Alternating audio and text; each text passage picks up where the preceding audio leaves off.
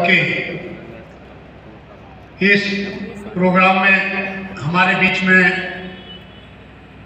प्रदेश सरकार में मंत्री, मेरे बड़े भाई ठाकुर अवरा सिंह जी, यहाँ पर दैनिक जागरण से, जो दैनिक जागरण का पूरा संपादक के रूप में कार्य देख रहे ऐसे मेरे भाई संतोष जी, युवा मोर्चा के जिलाध्यक्ष मुकेश लोधी जी और समस्त अचल सरोवर के हमारे स्वामी जी बैठे महाराज जी कुशल मंच का संचालन कर रहे ऐसे मेरे मित्र भाई राजनारायण जी,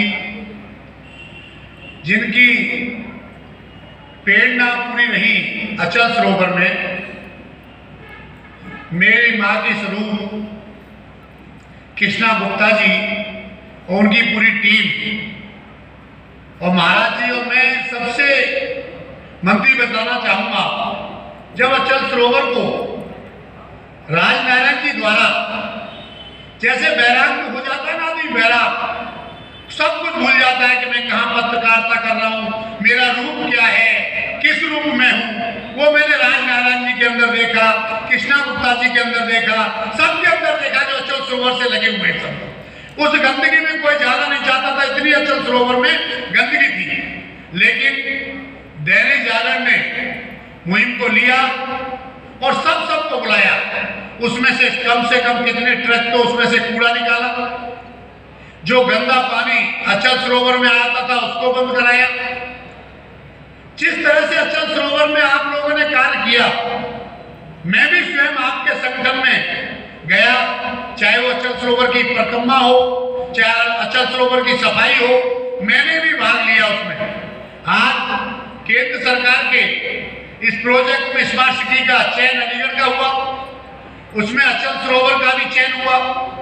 केंद्र सरकार के पैसे से आज अचल सरोवर सुंदीगढ़ का कार्य चल रहा है, लेकिन वो कार्य जब तक अधूरा है, जब तक अधूरा है, जब तक उसकी सुंदरता पूर्ण तरह से उसकी ना आए, वो जब आएगी जो अवैध रूप से अचल सरोवर के ओर पास जो कब्जा कर रखा है वो वहाँ से हटना चाहिए जब सुंदरता उसकी दिखाई देगी जो भी हमारे मंदिर बने हैं मंदिरों को उससे भव्य रूप में बनाया जाएगा।